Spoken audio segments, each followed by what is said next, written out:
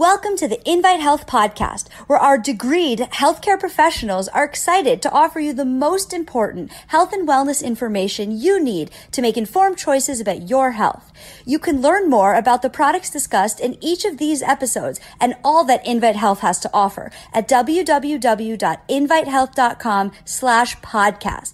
First time customers can use promo code podcast at checkout for an additional 15% off your first purchase. Let's get started.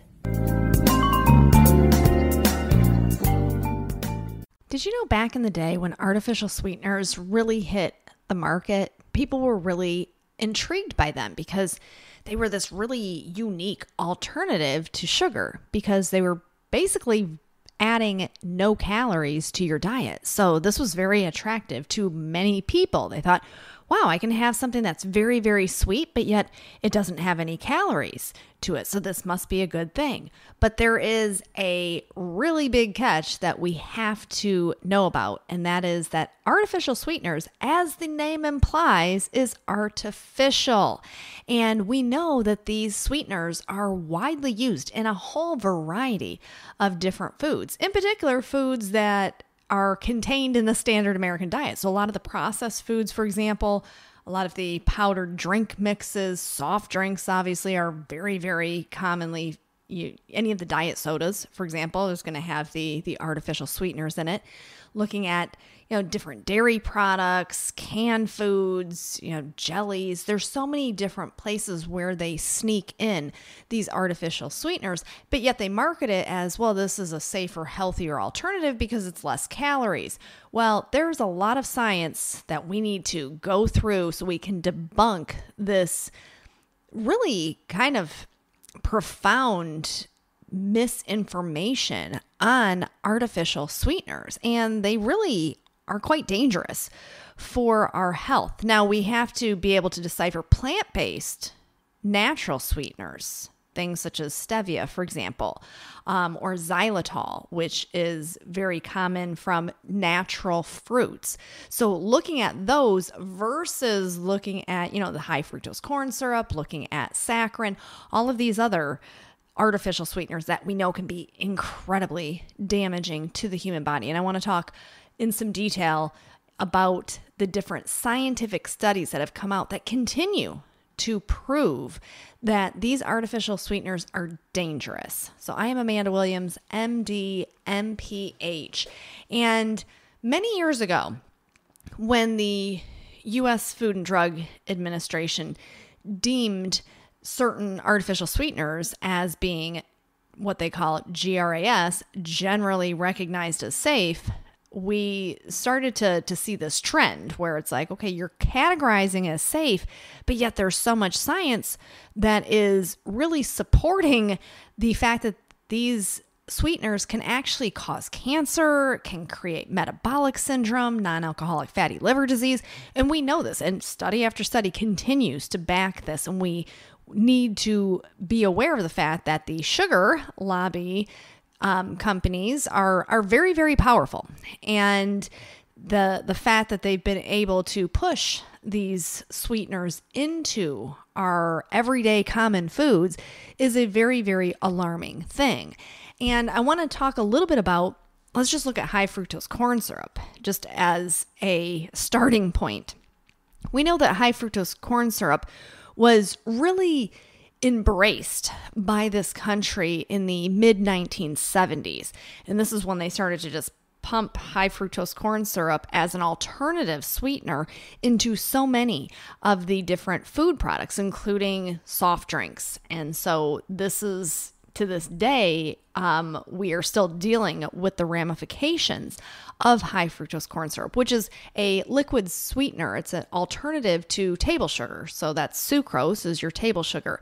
Now, what we recognize is the reason why they were using the high fructose corn syrup as opposed to table sugar was really an, an economic reason. And they could make and mass produce this high fructose corn syrup that had this really, really sweet um, taste to it and put it into foods but yet it was much, much cheaper for companies to be able to do this. Now, one of the points that I like to make about this when we look at the history of high fructose corn syrup here in the United States is the direct correlation between when high fructose corn syrup was first introduced into our food supply back in the mid 70s and then in the early 1980s there was this really rapid rise in non alcoholic fatty liver disease in a pediatric population. And that is something that should be alarming to anyone to hear that. And recognizing that the prevalence of non alcoholic fatty liver disease in the pediatric population is estimated to be upwards of 10%, which is absolutely astronomical. Now, what they also don't tell you about that astronomical amount of 10% of children can have non alcoholic fatty liver disease, meaning they're damaging their livers before they even, you know, become teenagers, is that this rate technically can be even higher than that because we're seeing the rate of pediatric obesity go up. And they estimate that as high as 70 to 80% of those children who are categorized as being obese will also have the comorbid issue of non alcoholic fatty liver disease. And in the, the Journal of Children, they published this correlation of pediatric non alcoholic fatty liver disease and why it is so incredibly linked to the foods. And one of the areas that we cannot overlook, and the Journal of Hepatology looked at this, was fructose and high fructose corn syrup as being this major mediator of non alcoholic fatty liver disease. And we know that this is a, a big issue here in this country. And we can correlate that with metabolic syndrome, with diabetes, and understanding that we are doing this to ourselves. And we now have to re educate and understand that we need to go back to the natural sugars that are coming naturally from your fruits, that are coming from plants, as opposed to these artificial sweeteners that are incredibly damning to the human body because you have to think about this. You have to think about like when saccharin, for example, first came out, and saccharin is like sweet and low. And they, they originally put a label on it saying, you know, we believe here at the FDA and the National Cancer Institute that, you know, there is this potential that the saccharin could lead to cancer. So they were listing it as a carcinogen. But that's now all changed. And even in spite of the fact that there is this mounting clinical and laboratory evidence that point to the dangerous health consequences of these artificial sweeteners, the government has now decided that they are generally recognized as safe. And that should scare the living daylights out of anyone. So we have to know what to do. And you have to be aware that the sweet foods that you are taking in should be coming from a natural sweetener. So if you want something sweet, it should be coming from I don't know, eating an apple, for example, or, you know, having a bowl of blueberries. This is a much better option than the aspartame and the high fructose corn syrup and the saccharin and the sucralose. All of these things that we know can create so many different long term, long lasting, and incredibly detrimental health effects. So, when we break down just some of the basic um, artificial sweeteners, for example, we have aspartame, and that's going to be like equal or NutraSweet. You have your high fructose corn syrup, which we know has been peppered through everything. That's why now when you go into a grocery store, you see even on ketchup bottles, you know, now contains no high fructose corn syrup, or you'll grab a box of cereal and it says now with no high fructose corn syrup because they understand the consumers are becoming wiser to this. But you have to also recognize that high fructose corn syrup has been directly linked to insulin resistance, type 2 diabetes, non alcoholic fatty liver disease, high triglycerides. We understand that aspartame, that equal you know, goes by the brand name Equal, that that has been linked to migraines, ringing in the ears, hyperactivity.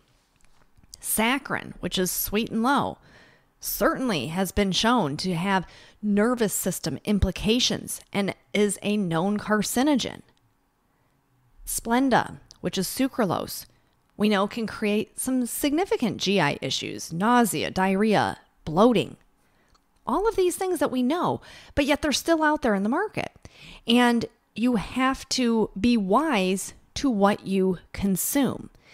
Understanding that there has been so much clinical research out there and looking at the health outcomes of non nutritive sweeteners. The Nutrition Journal did a study back in 2017 and really assessed a whole meta analysis. They went through over 300 different clinical studies looking at the long term implications in terms of cardiovascular effects, chronic kidney disease, the links with diabetes, high blood pressure, just from using artificial sweeteners. And it is absolutely a very, very strong link to this. But yet, we have seen this year after year where it's marketed towards diabetics, for example. And these artificial sweeteners is a better option as opposed to table sugar for the regulation of their blood sugar. Now, let's just be clear as to what those artificial sweeteners are actually doing. They're not raising their blood glucose. No, it doesn't raise the blood glucose. But what it does do is it impacts the insulin. So now we are creating a situation where we are worsening insulin resistance in people who already have insulin resistance.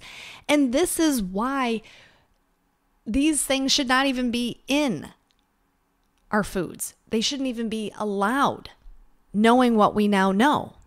In the Journal of Nutrients, they looked at the artificial sweeteners and their implications to the development of metabolic syndrome. And looking at that direct correlation and how it manipulates the gut microbiome. So that means that those artificial sweeteners are actually changing the way that the intestines are regulating food and nutrient absorption at the same time it's creating insulin resistance. We know this. We understand that artificial sweeteners have been promoted as a means to help combat obesity and be the best choice for people who struggle with high glucose levels. But now we realize that that is all for none because we can see through study after study how much of an implication these different artificial sweeteners are having on driving up obesity, on creating the worsening of insulin resistance. They published a study back in 2020 looking at the effect of artificial sweeteners on insulin resistance among type 2 diabetics.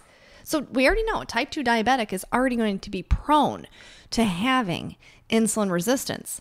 And in this study that they did, they showed that the use of artificial sweeteners had a direct impact, a direct impact, not an indirect, but a direct impact on insulin resistance.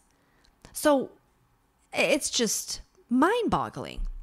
When I used to work with diabetics in diabetes self management courses, this was one area that we would focus a lot on was is sugar free these artificial sweeteners is this a better alternative for you? And absolutely, it is not. We see that it is actually making things worse. We have seen in pediatric studies the overall metabolic effects that these artificial sweeteners are having in young kids. As I mentioned, beyond that of just the non alcoholic fatty liver disease that we know is created. So, why is it that we are still dealing with these? Well, part of it comes down to consumers not doing enough of their own research. You know, basically kind of believing what they think, you know, the government is saying that this is generally recognized as safe. So if it's in the foods, it must be okay. No, this is not the case. And the the one study that really caught my eye many years ago was when they looked at diet sodas. And they did a really full scope study assessing diet soda consumption. So what does that mean? That means we're using artificial sweeteners so, you know, we can look at Diet Coke, Diet Pepsi, doesn't matter. And looking at the relationship to the development of diabetes, the development of diabetes. So, in the current development nutrition journal, they did a study where they followed a group of participants over a 10 year time frame. And these were people who, on a daily basis, were consuming diet soda. And what they were able to find was that not only was it that these diet sodas increased the risk, but they found it to be a direct independent risk factor. So it wasn't like, well, maybe they were having the diet soda, but still the other portions of their diet wasn't good, and that's what led to the diabetes. No, they said it was the diet soda directly that was creating the development of diabetes. So you have all these people running around drinking their diet sodas thinking that they're doing the right thing. Oh, this is low calorie or zero calorie and it doesn't have real sugar, so it's going to help so I don't gain weight. But now we know that that's not true. We know that when we have insulin resistance, we are going to gain weight. We know that we're going to get a cortisol imbalance. We know all of these things now. And looking at the the role that diet sodas have in the development not only of type 2 diabetes but also metabolic syndrome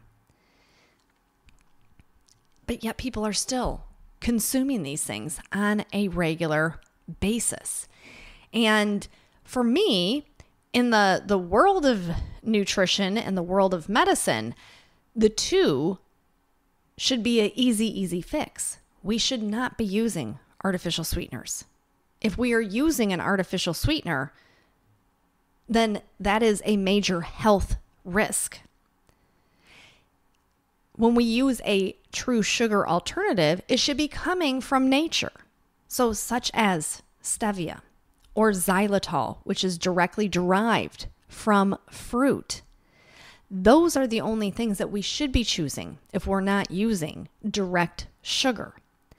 And just the scary effects that we know that these sweeteners can do to our overall health, changing the gut microbiome, increasing our risk for non alcoholic fatty liver disease. We see it clearly when they introduced high fructose corn syrup in the 70s, and not even a decade later, you get this astronomical spike in fatty liver disease in children. You don't have to be a rocket scientist to connect those dots. And I think the more we know about the foods that we consume, the more that we should be gearing towards let's eat foods that resemble foods because they are real foods. So, having fruits and vegetables as opposed to processed foods is one little step towards avoiding our exposure to these very harmful artificial sweeteners. Now, I could do you know, a podcast just on each individual artificial sweetener and go into the science and the links between all of these harmful, long lasting health effects. But I just wanted to give a brief overview that artificial, the name in and of itself, implies it's artificial. We shouldn't be putting it into our body. But the science behind it and understanding the long lasting effects of these artificial sweeteners why would you drink a diet soda if within five to 10 years that could maybe create a situation where you now are a diabetic? It doesn't make sense. Why would you give a child food that contains high fructose corn syrup knowing now that within five to 10 years that child could have a major liver issue? These are the things that we have to be cognizant of, and we have to choose our foods wisely. And the things that we drink as well.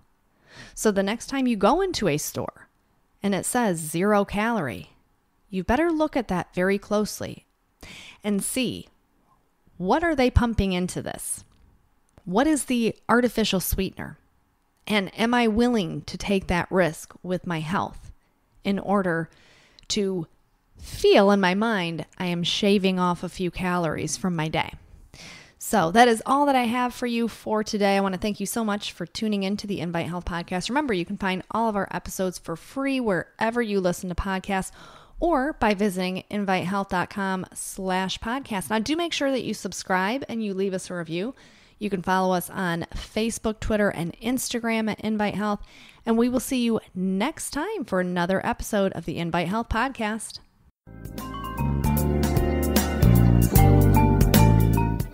Welcome to the Invite Health podcast, where our degreed healthcare professionals are excited to offer you the most important health and wellness information you need to make informed choices about your health.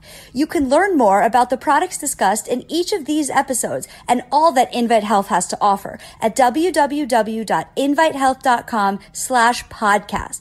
First time customers can use promo code podcast at checkout for an additional 15% off your first purchase. Let's get started.